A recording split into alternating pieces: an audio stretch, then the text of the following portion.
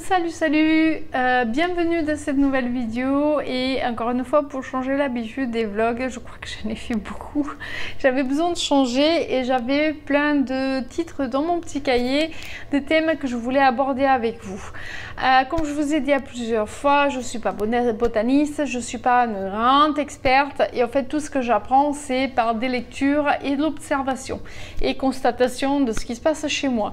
Donc si aujourd'hui je peux aborder un petit peu euh, le thème des euh, trips pas des autres parasites parce que euh, j'ai eu très peu d'attaques des autres parasites et euh, les trips c'est vraiment quand vous l'avez c'est très compliqué à s'en débarrasser.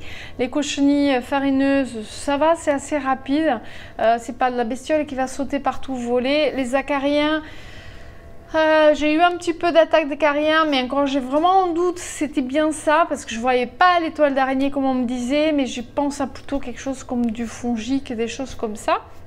Mais les trips, je peux vous dire, je les ai vus beaucoup trop souvent chez moi.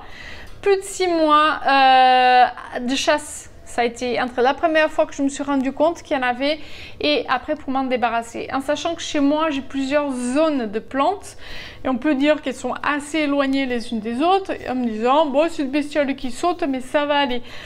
Non, ça va très vite. Ça peut sauter sur vous quand vous allez toucher une plante. Vous avez les manches longues. Euh, ça va très vite. Hein. Vous touchez d'autres feuilles et en avant vous le transmettez à toutes les autres plantes. Donc je voulais aborder dans cette vidéo uniquement sur ces parasites là parce qu'on arrive à la saison chaude et à la saison ils vont commencer à apparaître et le problème c'est que vous pouvez les ramener très facilement de l'extérieur. Donc il y a une chose euh, à faire, ce que j'ai pas fait au début, c'est de attaquer euh, en force illico et très vite et toutes les plantes. Comme ça vous êtes sûr de pouvoir éliminer et ne pas laisser un ou deux traîner. En sachant que ça peut durer quelques semaines parce que les trips piquent et pondent sur les feuilles des plantes. Donc du coup euh, vous risquez d'avoir éliminé ce qui était visible mais que quelques jours après, quelques semaines après ça ressorte à nouveau. C'est ça le problème. Donc vous croyez pas tranquille. D'ailleurs sur les emballages c'est souvent recommandé de refaire un traitement 7 jours après euh, parce que il se peut que ça ressorte à nouveau et quand vous croyez être tranquille, ben, rebelote, ça recommence. Je l'ai vécu, donc je peux vous en parler. Je vous mettrai au fur et à mesure des petites euh, des photos. Euh, des photos euh, sans droit d'auteur ou avec le nom des auteurs bien sûr pour être dans toute légalité et des photos à moi qui apparaîtront avec à montrer les dégâts que ça peut faire j'ai pris une quand même à côté de chez moi parce qu'elle, je peux vous montrer à la caméra parce que c'est tellement visible que du coup, euh, je n'ai même pas besoin d'aller avec euh, un, un macro pour pouvoir vous prendre en photo et vous montrer ce qu'il peut avoir comme dégâts euh, des trips. Alors les trips, c'est des petites bestioles noires longues, un peu comme ce qu'on appelle les petites bêtes des orages au fait, quand vous avez euh, le temps très chaud, très humide euh, et tout ça qui vous tombe dessus, en fait, sont accrochés sur vous et tout ça. Généralement, c'est les périodes des gros orages, des grosses chaleurs que vous les voyez. Donc, effectivement, c'est bien ça. Il existe plusieurs sortes de trips. Je ne vais pas me, euh, prolonger là-dedans, euh, dans tout ça. Euh, ce qu'on voit le plus souvent, c'est les tout petits noirs. Alors, première chose qu'on peut constater, bon, on les trouve souvent dehors. Donc la facilité de les ramener dedans si vous avez un jardin et même sous le balcon, hein, parce que ça, vole quand même, c'est transporté par le vent, donc euh, ça se déplace très facilement comme bestiole. Et vous pouvez après les attraper également dans les jardineries. Alors, c'est pas la photo jardinerie, il euh, faut savoir que les jardineries brassent énormément de plantes, de, énormément de producteurs différents. Ils peuvent avoir même deux plantes identiques de deux producteurs différents.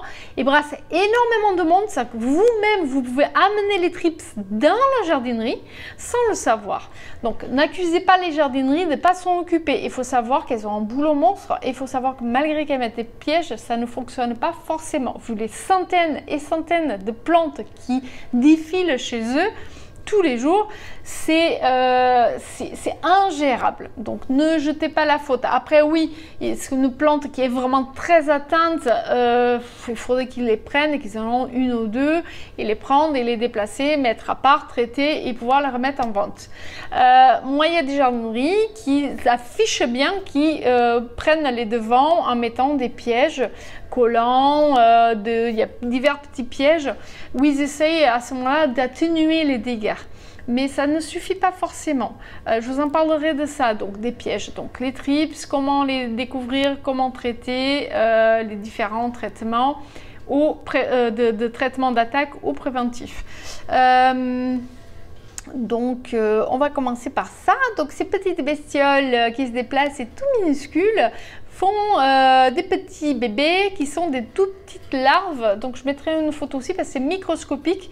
Euh, il faut avoir une très bonne lumière. Et alors je vous conseille un achat que j'ai fait, c'est une loupe. Vous allez dans le rayon euh, fourniture scolaire, vous trouvez pour pas cher du tout des loupes et euh, c'est très très utile. Euh, sauf qu'on a des très bons yeux. non, je, rigole ça, mais c'est vrai que moi j'ai des lentilles de contact donc et franchement quand je commence à essayer de voir de près, je vois de moins en moins bien. Donc c'est très utile la loupe pour vérifier parce que si vous voyez qu'il y a des traces de passage de piqûres de trips, même si vous voyez plus les petites bestioles noires, ça veut dire qu'elles se sont barrées ailleurs et et du coup, euh, elles ont pondu et vous aurez ces larves qui sortiront euh, dans les semaines qui suivent. Alors, comment euh, s'alerter d'une attaque de trips? Alors les trips, il faut savoir qu'elles ne sont pas uniquement sous la feuille, mais sur la feuille aussi. Souvent, c'est les larves qui sont sous la feuille parce que comme ça, elles se protègent des oiseaux et d'autres euh, prédateurs qu'ils ont. Euh, du coup, elles sont cachées. C'est plus compliqué à être et, euh, et, du coup, elles se protègent comme ça. En sachant qu'elles peuvent se cacher dans tous les interstices des plantes.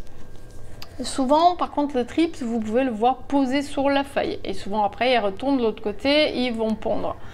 Donc, comment identifier d'un coup d'œil C'est pour ça que je vous dis de regarder régulièrement vos plantes. Euh, et on voit assez facilement. Il y a plusieurs indicateurs, c'est des petites taches jaunes. Alors, c'est pas que sous les bords, c'est pas que sur le milieu, ça peut être sur toute la feuille. En fonction de la taille de l'attaque, Hein, de la proportion et depuis combien de temps la plante se fait attaquer, ça peut être énorme.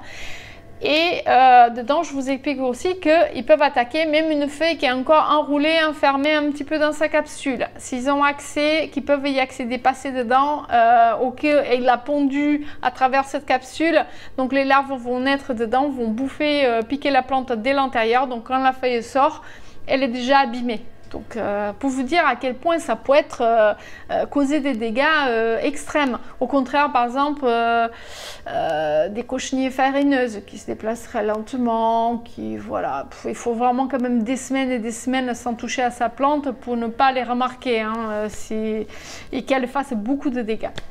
Donc je vais vous montrer avec le physodendron White Princess parce que je l'ai acheté en toute connaissance de cause qui était bien attaqué par les trips, on le voyait très nettement. J'ai quand même pris le risque de le prendre sachant que quand je l'ai acheté j'avais déjà eu des attaques de trips donc je savais à peu près comment traiter et euh, m'en débarrasser assez rapidement. Donc c'est pour ça qu'il est toujours là et qu'il continue de grandir.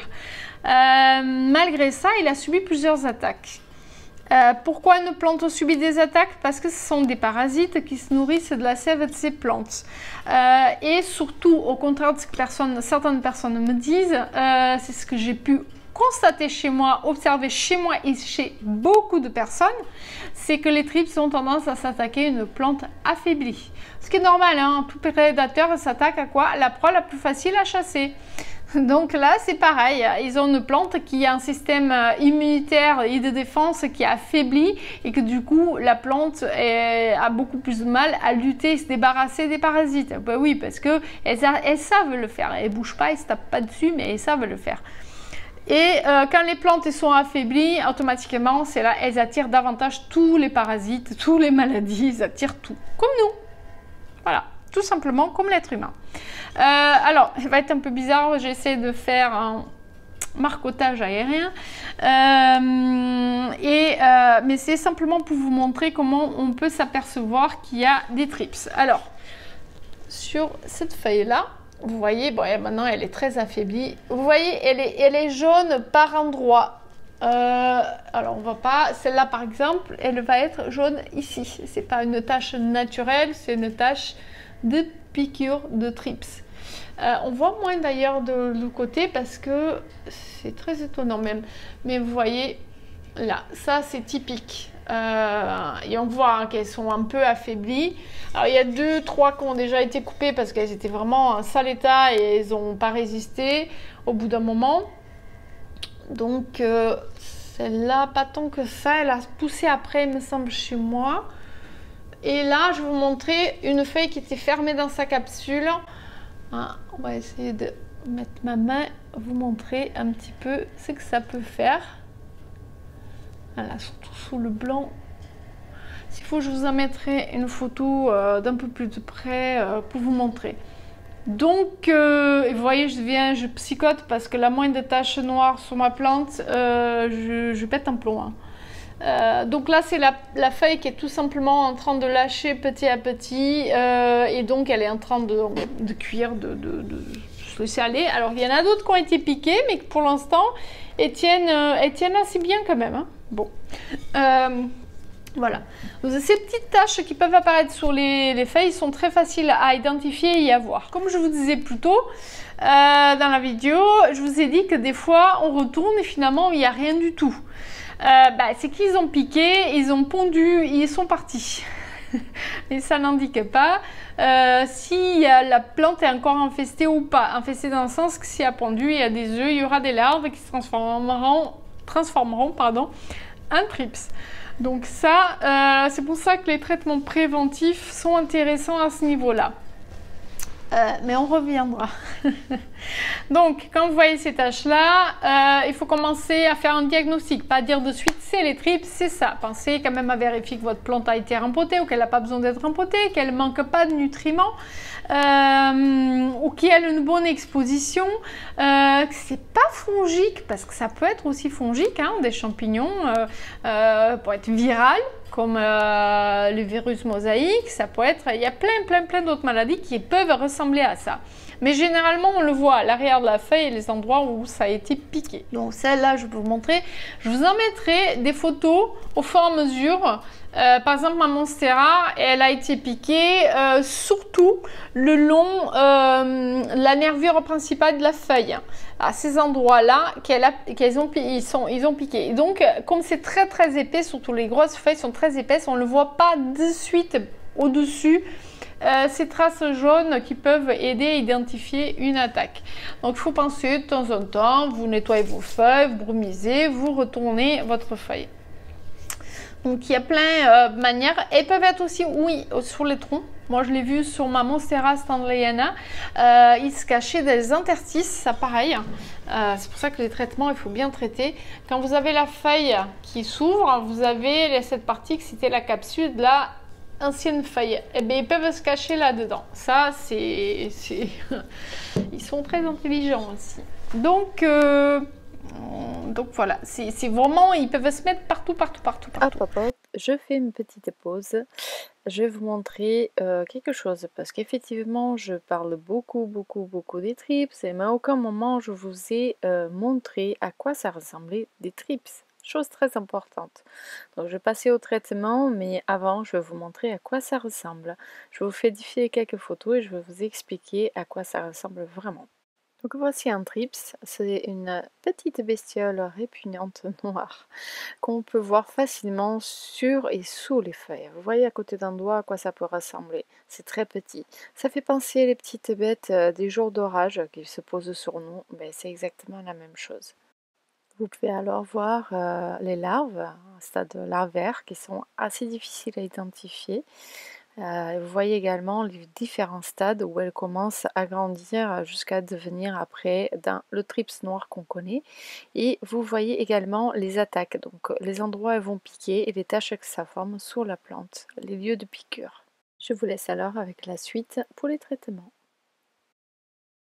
Donc, euh, donc voilà, c'est vraiment, ils peuvent se mettre partout, partout, partout, partout. Euh, maintenant, on passe, euh, que faire Les traitements. Alors, une fois que vous avez identifié que c'est bien les trips, euh, première chose que je vous conseille, c'est de nettoyer vos feuilles. Vous prenez un coton, un chiffon doux, euh, euh, microfibre et tout ça. Alors, on va vous conseiller des suites des douches, du savon noir et tout ça. Vous pouvez nettoyer en faisant un petit mélange dilué de savon noir avec de l'eau tiède de préférence. Vous trempez votre chiffon ou votre coton et vous nettoyez tous vos feuilles de chaque côté. Ça, c'est très important. Vous supprimez s'il y en a des trips. Vous allez commencer déjà par supprimer les adultes en faisant très attention à ce moment-là. Euh, bien les manches euh, et tout ça. Si vous voulez pas prendre de risques, je vous propose à ce moment-là, paf, vous amenez votre plante dans la douche, de dehors, les températures sont clémentes, peu importe ce que vous avez, et euh, vous rincez bien les feuilles. Alors attention, j'ai remarqué une chose, j'ai un, Lactia euh, White Ghost qui a été attaqué, une bouture, et euh, je l'ai passé sous l'eau. Mais je peux vous dire, dans le moindre interstice, ils sont bien accrochés les trips. J'étais obligée d'aller avec longue les enlever. À la presque j'ai failli prendre une brosse parce qu'ils étaient bien accrochés dessus. Ils ne voulaient pas partir. Donc, vous dites méfiance. Mais au moins, vous enlevez déjà le gros. S'il y a des larves, parce que ça, euh, je vous ai remis la photo, euh, des, larves, c'est pareil, vous allez supprimer les, larves. Alors, vous pouvez, dans votre petit mélange dilution de savon noir et d'eau, vous pouvez utiliser aussi un peu d'alcool à 60-70% euh, dedans et ça désinfecte la plante et ça tue les parasites en même temps. Une fois ça fait, alors ça sert à rien de laver les feuilles comme un malade au savon noir, faire des douches au savon noir. Et en plus, si vous laissez traiter et que la plante est affaiblie, vous laissez sécher un peu, comme certains vous indiquent. Qu'est-ce qui se passe? La plante, si elle est affaiblie, vous allez finir par cramer les feuilles et tuer la plante. Donc méfiance avec ça, parce que quand on ne sait pas gérer la chose, c'est très compliqué. Moi, ce que je vous conseille, parce que j'ai passé par toutes ces étapes-là, de tenter tous les remèdes de grand-mère, et à chaque fois, j'étais envahie, euh, en continu, malgré que je faisais régulièrement, que je faisais par que j'ai tout fait d'un coup, que j'ai... Voilà. J'ai fini finalement à perdre mon temps euh, pour finir acheter le produit euh, au supermarché, au supermarché à la jardinerie. Donc, euh, je vous mets pas de produit indiqué vraiment de marque spécifique. à la limite, si vous voulez, je mettrai un commentaire parce que je fais pas de, de publicité gratuite. C'est simplement qu'il y a diverses marques et qui utilisent divers produits. Vous avez généralement pour euh, tout type de plantes et tout type d'insectes. Alors, il suffit de retourner votre bouteille et regarder derrière. En fonction des plantes, il faut vous, vous marquer TRIPS. Au moins une fois, euh, il faut que ça soit marqué TRIPS dessus. Alors là, vous êtes sûr que c'est bon pour les trips. Donc vous prenez votre petit produit, vous suivez bien les indications marquées dessus s'il vous plaît. Euh, moi je l'ai fait généralement dans ma grosse douche à l'italienne et il faut mettre des gants, euh, éloigner quand même votre plante, éloigner tout ce qui craint autour bien sûr. Vous pulvérisez bien sur tous les recoins votre plante, laissez sécher comme le disent, surtout pas rincer.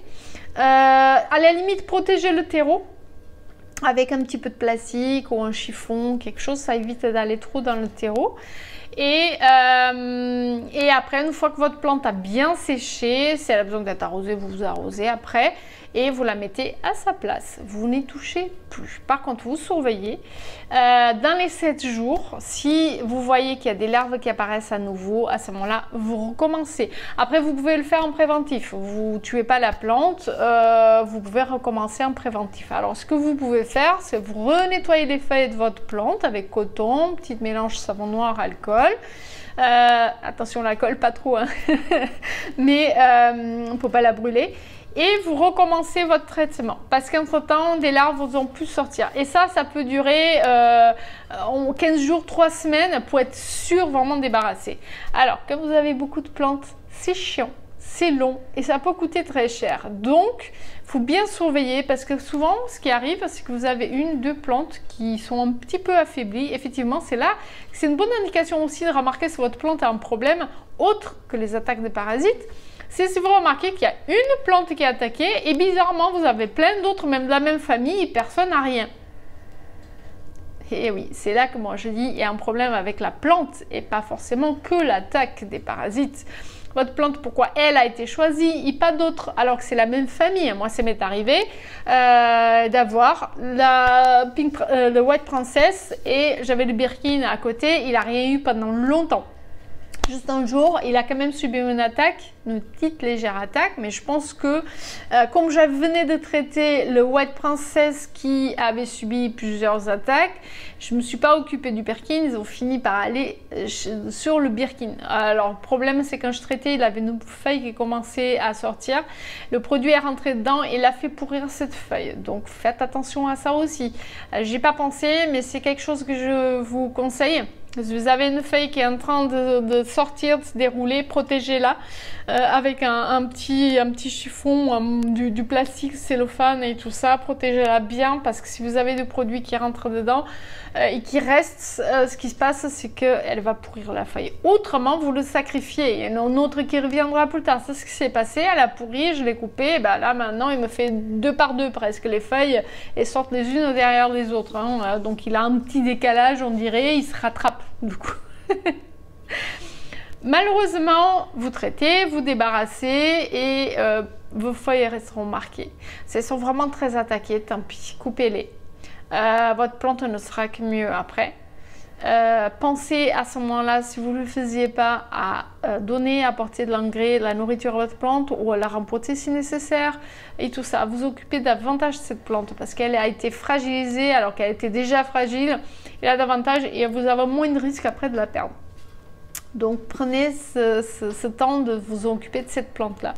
Donc comme vous voyez une attaque sur une, il faut surveiller toutes les autres. Vous aurez des espèces qui vont être attaquées plus facilement, d'autres pas et d'autres qu'on ne croyait pas et sont quand même attaquées comme ma bouture de Lactea White Ghost qui a été attaquée. Alors ce qui est marrant et je continue à insister là-dessus, sur deux boutures côte à côte, rempotées de la même façon, au même endroit, une a haché attaquée, mais elle a été vraiment attaquée euh, méchant. Je mets... Euh, petite photo.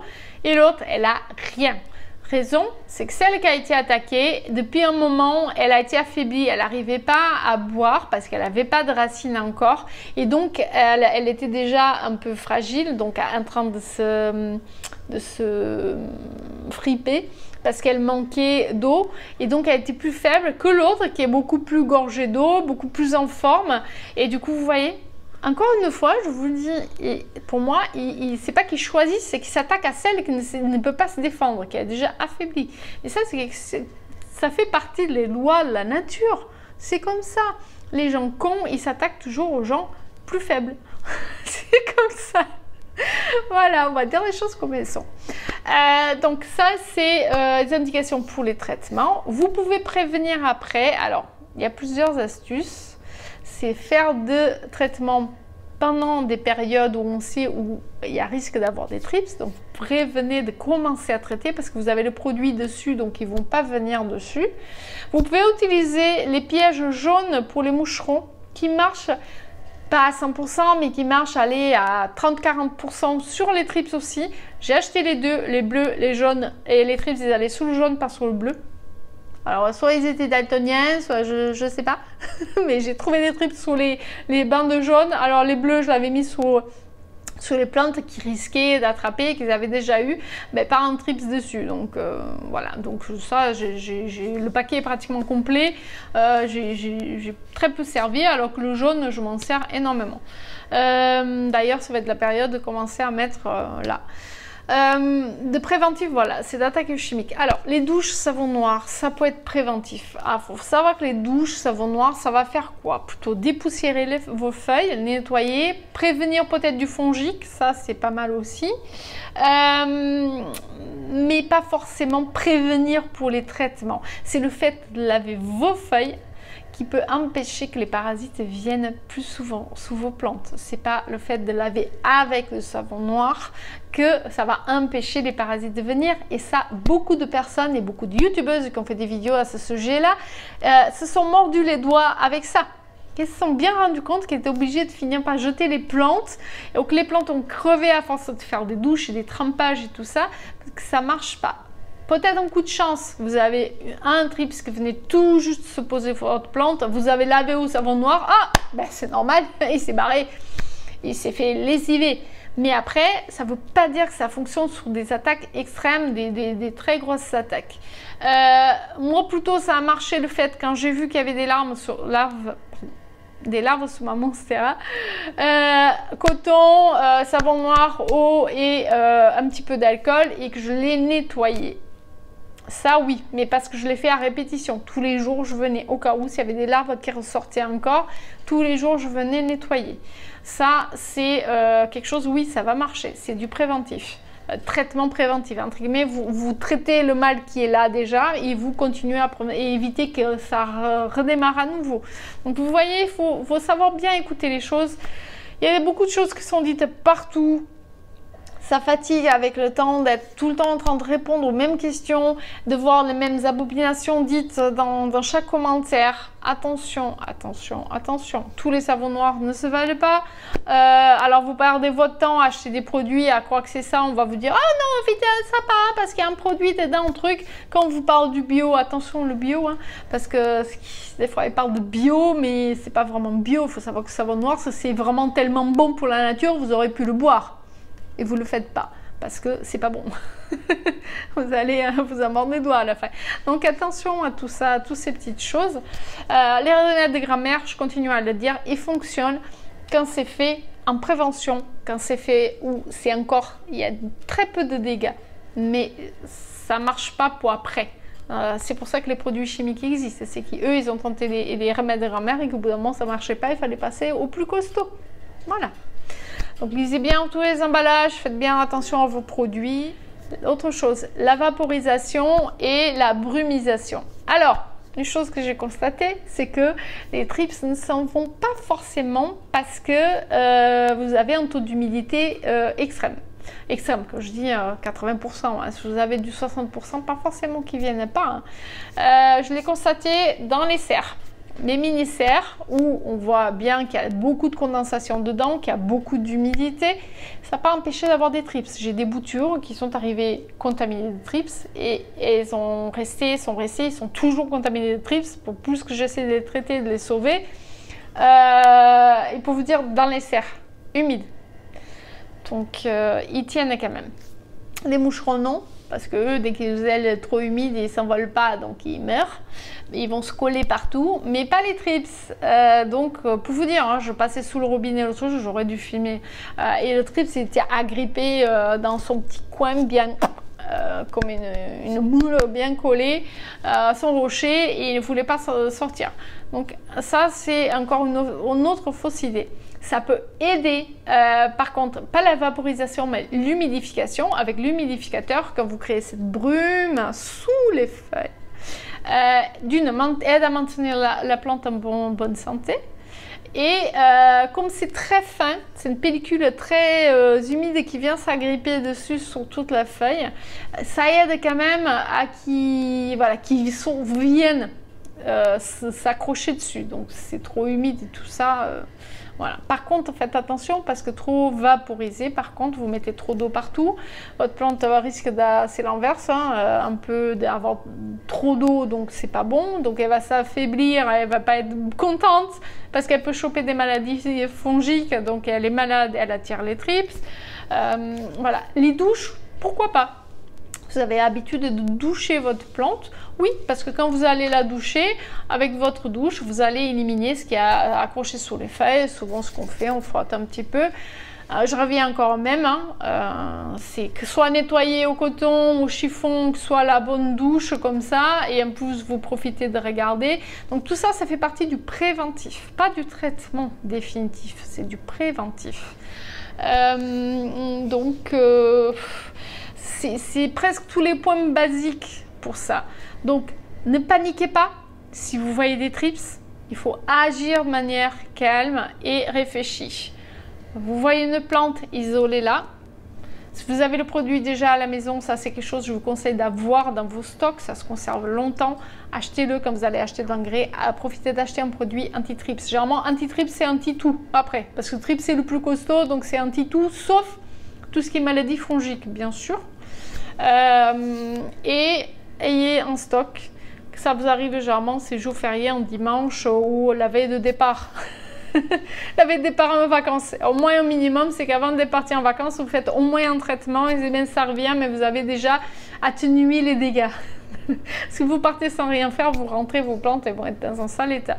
Donc, euh, au moins, vous mettez tout, un bon coup de jet. Généralement, on a tendance à déplacer un petit peu nos plantes parce qu'on ferme les maisons, les appartes. Donc, on déplace nos plantes dans un endroit où on peut laisser une fenêtre euh, à volet ouvert. Euh, parce que ça craint pas, parce qu'il y a une grille anti-voleur et tout ça.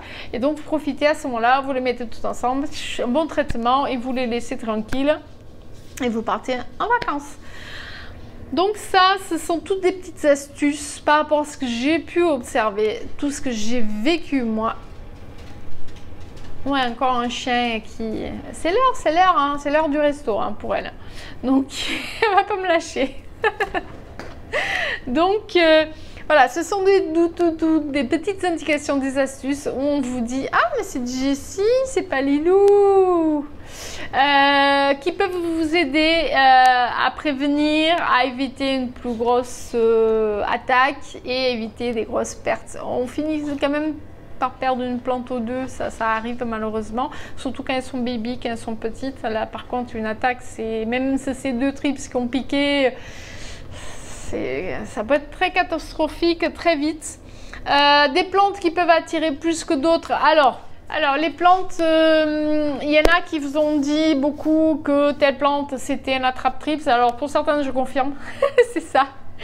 Bon, les philodendrons Brésil, plus jamais chez moi parce que dès que je n'ai eu, ils ont pris des trips, ils ont été attaqués et ils ont fini en état euh, vraiment, euh, voilà. Hmm. Donc ça, c'est type de plante, mais tous les philodendrons n'attrapent pas.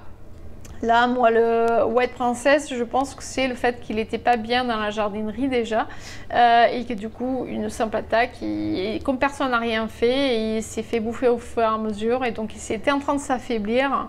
Donc c'est pour ça. Euh, après, alors sur les piléas, j'ai jamais eu. Euh, sur qui d'autre? Les caladiums non plus. sur qui? Les maranta non plus. Ça a été plutôt de l'attaque soit fongique, soit du, des acariens. Je suis encore dans le doute. Alors, d'autres plantes que j'ai pas, ou j'ai pas eu, des sandapsus, j'ai pas eu. J'ai eu sur certains potos.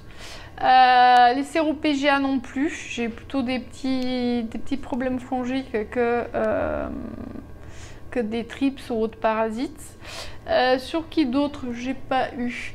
Alors sur la hum, Radifodora, Radifodora, tetrasperma, bon, et Monstera minima, euh, j'ai pas eu non plus. Est-ce que j'ai cru que c'était une attaque? Je pense que c'était autre chose, une petite bestiole, mais euh, non, pas du tout. Les Chinandus non plus. oui, par contre, un oui. Ils peuvent attraper assez facilement aussi. Je pense que c'est ceux qui ont des feuilles très très fines. Euh, le Birkin, il a fini par attraper, mais euh, je pense que c'est euh, parce qu'il était collé en continu au White Princess, donc et qui a fini bien par, vu que White Princess a été traité, ben, ils se sont jetés sur l'autre qui était à côté. qui d'autre?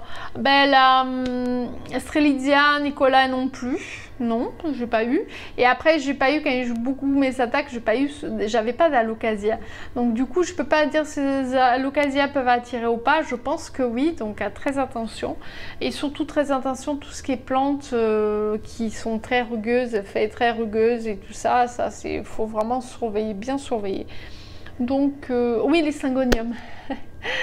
les syngoniums, toute ma collection de syngoniums même la dernière bouture qui me restait de euh, Syngonium euh, podophyllum, malgré un eau, malgré qu'il a été isolé, il m'a toujours présenté des trips. Mais un truc hallucinant. J'ai fini par le jeter à grand regret. Donc toute la belle collection que j'avais de Syngonium, tout a été euh, frappé par des trips, mais de manière mais vraiment vorace. Je veux vous dire, c'est une attaque vraiment très vorace. En plus, c'est une plante qui a effet très fine, donc c'est très compliqué.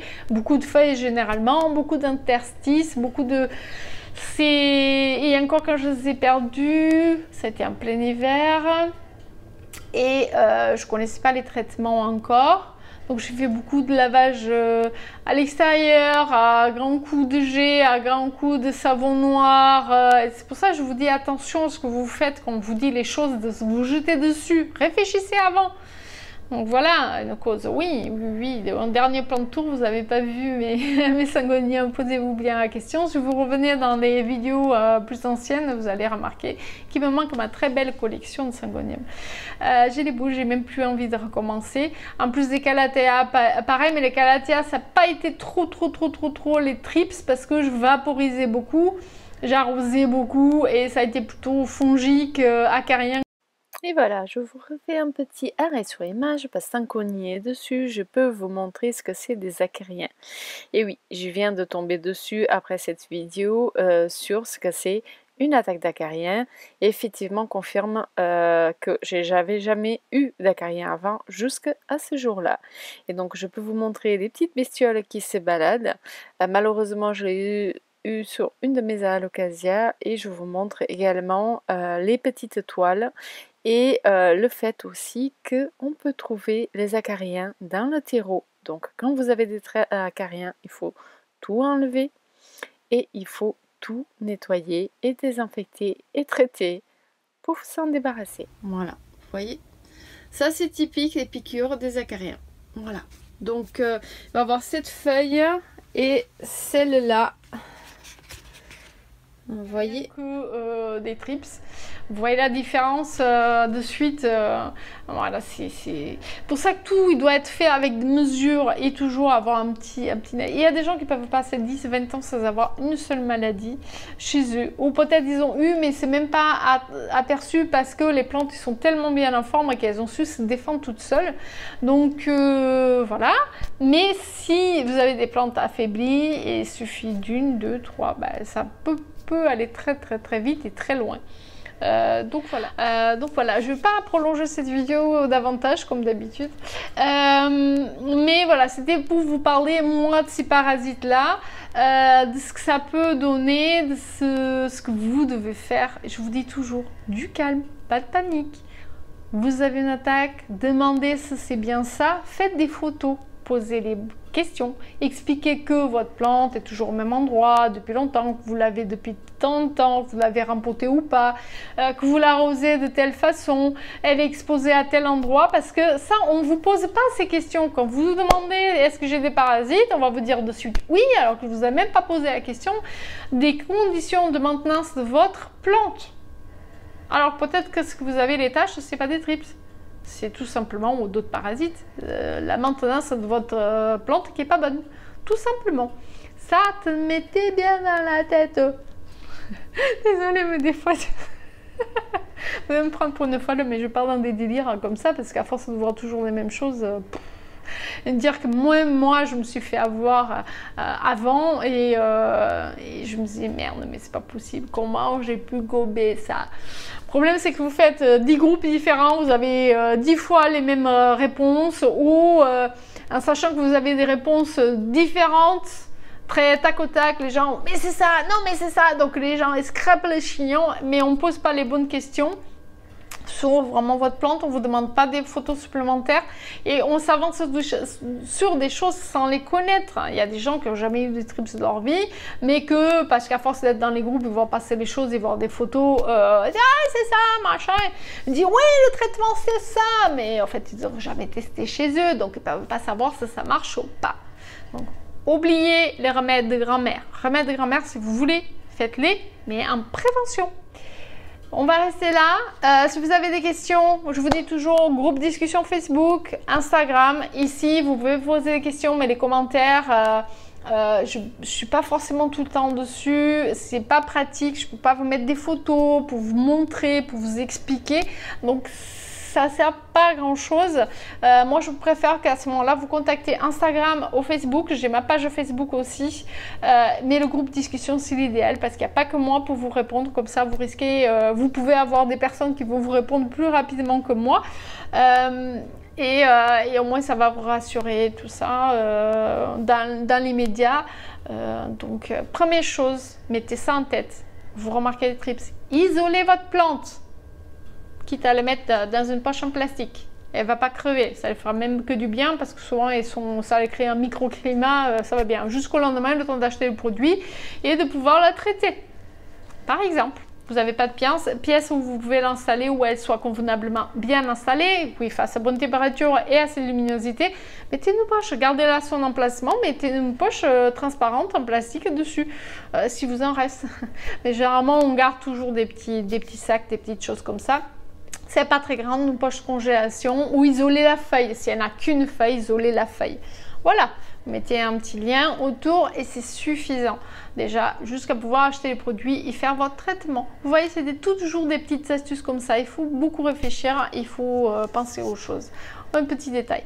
Allez, ça va être encore une vidéo ultra longue. comme d'habitude. beaucoup de blabla, beaucoup de trucs, désolé. Et il y a eu quelques petites euh, photos euh, que je vous ai mis. C'est beaucoup de blabla, mais euh, je ne peux pas faire quelque chose du tac au tac comme ça, bam bam bam bam bam.